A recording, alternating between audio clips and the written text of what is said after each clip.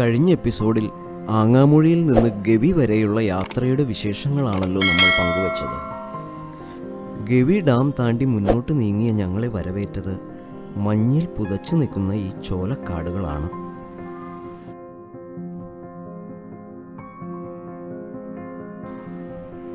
ഇല പൊഴിച്ചു നിൽക്കുന്ന ഈ മരങ്ങളും കോടമഞ്ഞിന്റെ മാസ്മരിക സൗന്ദര്യവും ചേർന്ന് ആലീസ് ഇൻ വണ്ടർലാൻഡ് എന്നൊക്കെ പറയുന്ന പോലുള്ള ഒരു മാജിക്കൽ ഫീലാണ് നമുക്ക് നൽകിയത്. ഇവിടെ മനോഹരമായൊരു വ്യൂ പോയിന്റ് ഉണ്ട്. പക്ഷെ കോട വീണ് കിടക്കുന്നതുകൊണ്ട് ഒന്നും കാണാൻ നിർവാഹമില്ല. ആങ്ങാമൂഴി തൊട്ടിവിടെ വരെ സീതത്തോട് ഗ്രാമപഞ്ചായത്തിന്റെ ഭാഗമാണ്. പത്തനംതിട്ട നിന്ന് ഇടുക്കി കയറാൻ പോകും ഈ പാലമാണോ. അതിൽ പാലത്തിന്റെ ഇപ്പുറം പത്തനംതിട്ട പാലത്ത് അങ്ങോട്ട് ഇടുക്കി ഇടുക്കി കയറുന്നു ഇപ്പൊ നമ്മൾ ഇടുക്കി കയറുന്നു. ഈ പാലം കഴിഞ്ഞാൽ നമ്മൾ ഇടുക്കിയാണ്. രണ്ടിന്റെ ഇടയിൽ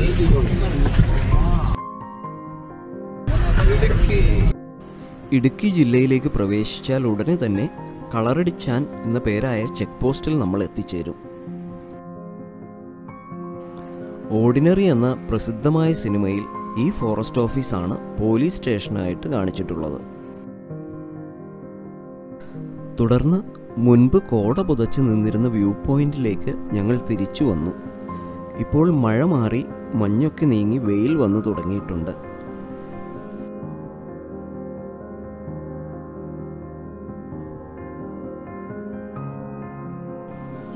ഇത്രയും ഭംഗിയുള്ള ഈ കാഴ്ച കാണാൻ സാധിച്ചില്ലായിരുന്നെങ്കിൽ അത് എത്ര വലിയ നഷ്ടമായി പോയേനെ.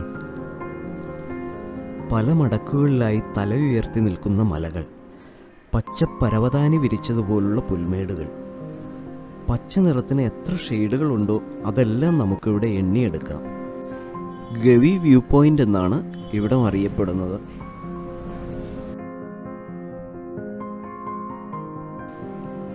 അകലെയുള്ള മലയുടെ മുകളിൽ ഏതാനും കാട്ടുപോത്തുകൾ മേഞ്ഞു നടപ്പുണ്ട്. ഏതാണ്ട് ഈ ഭാഗത്തായിട്ട്.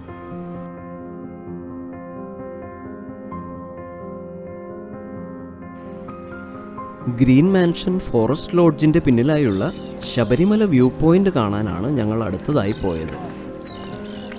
മഞ്ഞും മഴയും ഒക്കെ അകന്ന് അന്തരീക്ഷം തെളിഞ്ഞിട്ടുണ്ടെങ്കിലും ഇപ്പോൾ സമയം ഏതാണ്ട് ആറു മണിയായി കഴിഞ്ഞിരിക്കുന്നു.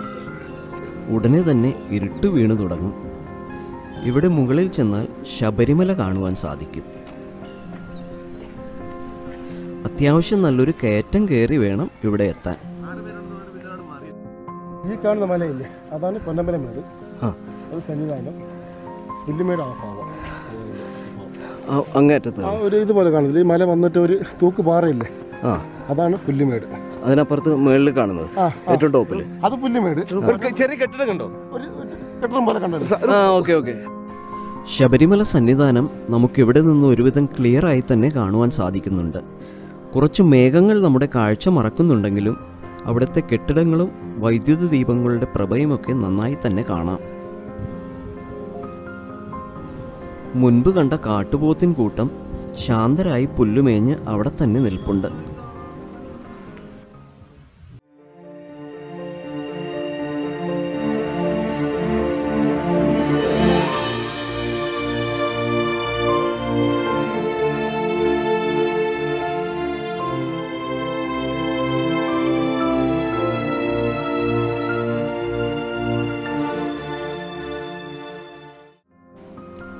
അവിടെ നിന്ന് തിരിച്ചിറങ്ങിയപ്പോഴേക്കും രാത്രിയായി കഴിഞ്ഞിരുന്നു.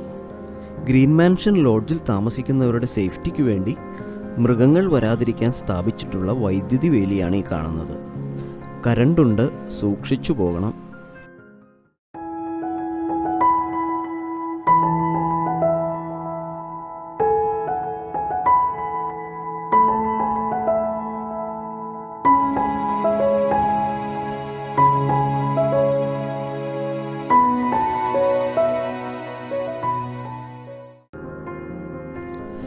പിറ്റേന്ന് പുലർച്ചെ തന്നെ ഞങ്ങൾ കാടിന്റെ നടുവിലായി സ്ഥിതി ചെയ്യുന്ന മീനാർ എന്ന ഡാം ലക്ഷ്യമാക്കി യാത്ര ആരംഭിച്ചു. ഒരു കാട്ടുകോഴി. അവിടെ നിന്ന് മുന്നോട്ട് നീങ്ങിയ ഞങ്ങളുടെ വണ്ടിക്ക് പിന്നിലായി നമ്മുടെ കെ എസ് ആർ ടി സിയുടെ കൊമ്പൻ പ്രത്യക്ഷപ്പെട്ടു. കാട് കുലുക്കി നീങ്ങുന്ന ഒരു കൊമ്പനാനയെ പോലെയാണ് അവന്റെ വരവ്.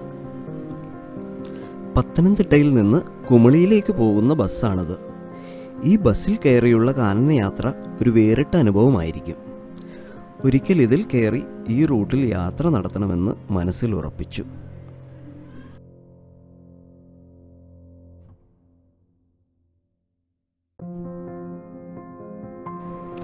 മെയിൻ റോഡ് വിട്ട് ഇടവഴിയിലേക്ക് കയറിയപ്പോൾ മരങ്ങളുടെ അവശിഷ്ടങ്ങൾ നിറഞ്ഞ അതിസുന്ദരമായ ഒരു തടാകത്തിനരികിലൂടെയായി യാത്ര.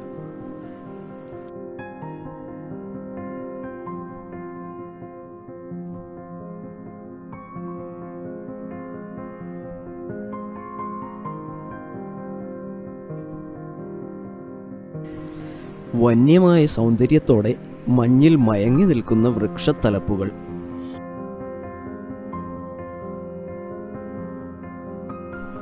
ഫോറസ്റ്റുകാരുടെ ഭാഷയിൽ പറഞ്ഞാൽ ആന ഫാമിലിയായിട്ട് താമസിക്കുന്ന സ്ഥലമാണത്. ഇനി അങ്ങോട്ട് എവിടെ നോക്കിയാലും ഈറ്റക്കാടുകൾ മാത്രം. ആനയ്ക്ക് ഏറ്റവും ഇഷ്ടപ്പെട്ട ഭക്ഷണം. ഓരോ വളവിലും ഒരു കരിവീരൻ വഴി തടഞ്ഞു നിൽപ്പുണ്ടാകും എന്ന ഭയപ്പാടോടെ വളരെ പതുക്കെയാണ് വണ്ടി മുന്നോട്ടെടുത്തത്.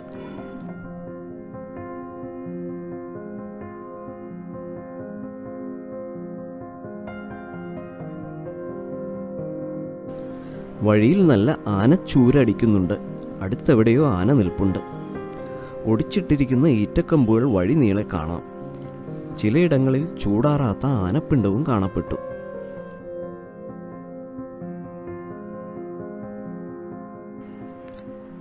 ആന ഒടിച്ചിട്ടിരിക്കുന്ന ഈറ്റക്കൊമ്പുകൾ വെട്ടിമാറ്റിയാണ് പലയിടത്തും ഞങ്ങൾക്ക് യാത്ര തുടരാനായത്.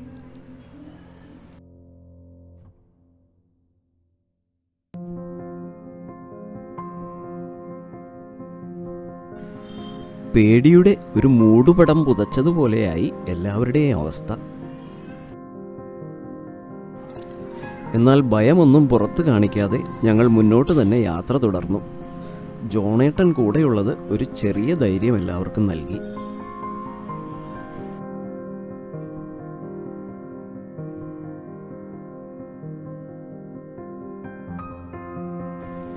ഉടൻ തന്നെ ഒന്നാമത്തെ മീനാർ ഡാമിൽ എത്തിച്ചേർന്നു.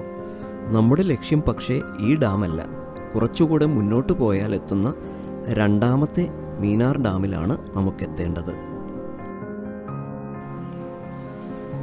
ശബരിഗിരി ജലവൈദ്യുത പദ്ധതിയുടെ ഭാഗമായ കെ എസ് സി ബിയുടെ അധീനതയിലുള്ള ഒരു ചെറിയ ഡാമാണിത്.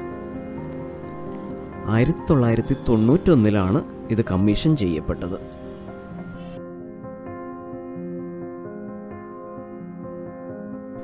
ഇപ്പോൾ ഈറ്റക്കാടുകൾ അവസാനിച്ചു. ആകാശം മുട്ടെ വളർന്നു നിൽക്കുന്ന പടുകൂറ്റൻ വൃക്ഷങ്ങൾക്കിടയിലൂടെയാണ് നമ്മളിപ്പോൾ യാത്ര തുടരുന്നത്. ചില ഭാഗത്തൊക്കെ മരമൊടിഞ്ഞ് റോഡിലേക്ക് വീണ് കിടക്കുന്നത് കാണാം. നമ്മൾ കടന്നു പോയതിന് ശേഷം ഏതെങ്കിലും മരം റോട്ടിലേക്ക് കടപുഴുകി വീണാൽ ഒരു രണ്ട് ദിവസമെങ്കിലും ഇവിടെ പെട്ടുപോകാൻ ചാൻസ് ഉണ്ട് കാടിന്റെ സുഖവും പച്ചപ്പും മഞ്ഞുമൊക്കെ ആസ്വദിച്ച് ഒരു യഥാർത്ഥ കാടിനെ തൊട്ടറിഞ്ഞുള്ളൊരു യാത്രയാണിത്. ഒരു വൈൽഡ് ലൈഫ് ഫോട്ടോഗ്രാഫർ ചിലപ്പോൾ വർഷങ്ങളോളം കാട്ടിലൂടെ അലഞ്ഞതിന് ശേഷമായിരിക്കും അയാളുടെ മനസ്സിനിഷ്ടപ്പെട്ട ഒരു ചിത്രം അയാൾക്ക് ലഭിക്കുക. അടുത്ത വളവിൽ എന്താണ് നമുക്കായി കാട് ഒളിപ്പിച്ചു വെച്ചിരിക്കുന്നതെന്ന് ഒരിക്കലും പറയാനാവില്ല. കാട് കാണിച്ചു തരുന്നത് കൺകുളിർക്കെ കാണുക. ഭയത്തെക്കാളുപരി ഈ ചിന്തയാണ് ഞങ്ങളെ മുന്നോട്ട് നയിച്ചത്.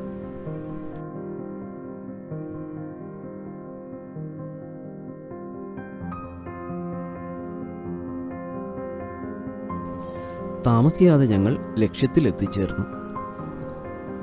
ഇവിടെയൊക്കെ ആനപ്പിണ്ടം കിടപ്പുണ്ട്. ആന ഇതിന്റെ പരിസരത്തൊക്കെ അടുത്തെപ്പോഴോ വന്നിരുന്നു എന്നതിന്റെ അടയാളം.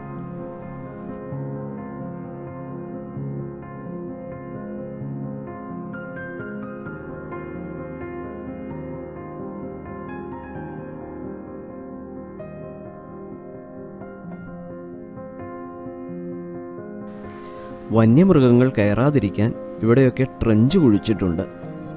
ആന ഏതായാലും ഇങ്ങോട്ട് കയറിയ ലക്ഷണമൊന്നും കാണുന്നില്ല. ഇപ്പോഴാണ് എല്ലാവർക്കും കുറച്ചെങ്കിലും ശ്വാസം നേരെ വീണത്. ഇവിടെ താഴെയായി കാണുന്നതാണ് മീനാർ ഡാം നമ്പർ ടു. കൊടും കാടിനാൽ ചുറ്റപ്പെട്ട ഒരു റിസർവോയറും നമുക്കിവിടെ കാണാം. പലപ്പോഴും കടുവ വെള്ളം കുടിക്കാനെത്തുന്ന ഒരു സ്ഥലമാണിതെന്ന് മനസ്സിലാക്കുവാൻ കഴിഞ്ഞു. എന്നാൽ നമുക്ക് ഭാഗ്യമില്ല. ഇന്ന് കടുവ പ്രത്യക്ഷപ്പെടുന്ന ലക്ഷണമൊന്നും കാണുന്നില്ല. ഇവിടെ ഫോറസ്റ്റ് ഡിപ്പാർട്ട്മെന്റിന്റെ ഒരു ആന്റി പോച്ചിങ് ഷെഡുണ്ട്. വേട്ടക്കാരിൽ നിന്നും മൃഗങ്ങളെ സംരക്ഷിക്കാൻ ഇവരൊക്കെ അഹോരാത്രം പണിയെടുക്കുന്നുണ്ട്. അല്പസമയത്തിന് ശേഷം മഴ ശക്തി പ്രാപിച്ചു.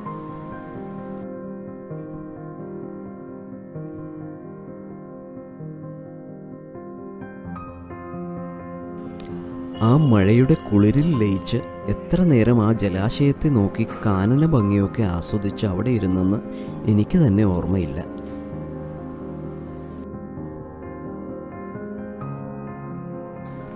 അവിടെ നിന്ന് തിരിച്ചെത്തിയ ശേഷം കുള്ളാർ എന്ന പേരായ മറ്റൊരു ഡാം സന്ദർശിക്കാൻ ഞങ്ങൾ യാത്ര തുടർന്നു.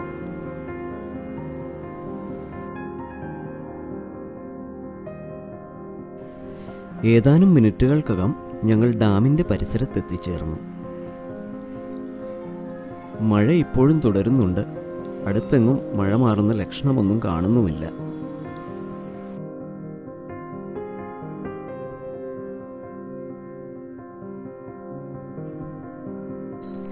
മഞ്ഞിന്റെ ആവരണം നീക്കി കാട് ദൃശ്യമായപ്പോൾ അവിടെ എന്തോ അനക്കം കണ്ട് ക്യാമറയൊന്ന് സൂം ചെയ്ത് നോക്കി. ഇനി കടുവയോ മറ്റോ ആണോ? അല്ല മറ്റെന്തോ ആണ്.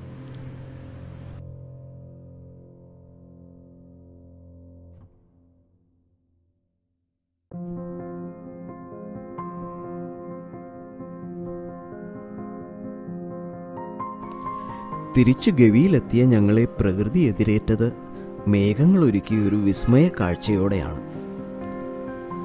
മലമടക്കുകൾക്കിടയിൽ നിന്ന് മുകളിലേക്ക് ഒഴുകി നീങ്ങുന്ന വെൺമേഘക്കൂട്ടങ്ങൾ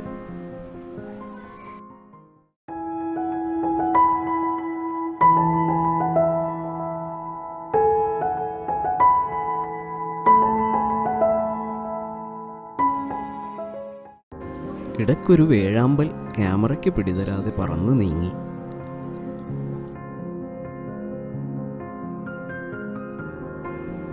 പാദസരവും കിലുക്കി ഒഴുകിയെത്തുന്ന ഒരു കാട്ടാറിന്റെ സൗന്ദര്യം ആസ്വദിച്ച് കുറച്ചു നേരം അവിടെ ചെലവഴിച്ചു.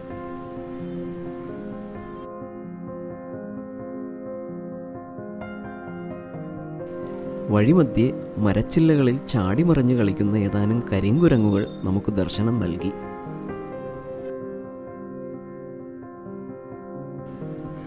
അങ്ങനെ ഞങ്ങൾക്ക് ഗവിയോട് വിട പറയാൻ നേരമായി. ജോണേട്ടനോട് യാത്ര പറഞ്ഞുകൊണ്ട് വള്ളക്കടവിലേക്കുള്ള മടക്കയാത്ര ആരംഭിച്ചു.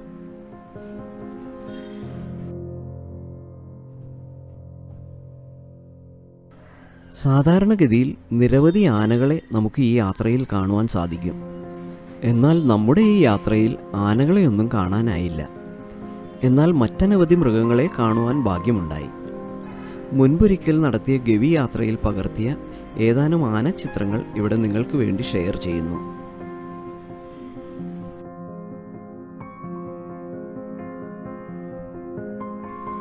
തിരിച്ചുള്ള യാത്രയിൽ പെരുവന്താനം എന്ന മനോഹരമായ സ്ഥലത്ത് വെച്ചെടുത്ത ഒരു ടൈം ലാബ്സ് പ്രേക്ഷകർക്ക് സമർപ്പിച്ചുകൊണ്ട് ഗവി യാത്ര ഇവിടെ പൂർണമാകുന്നു. മറ്റൊരു വ്ളോഗുമായി വീണ്ടും കാണാം. അതുവരെ ടേക്ക് കെയർ.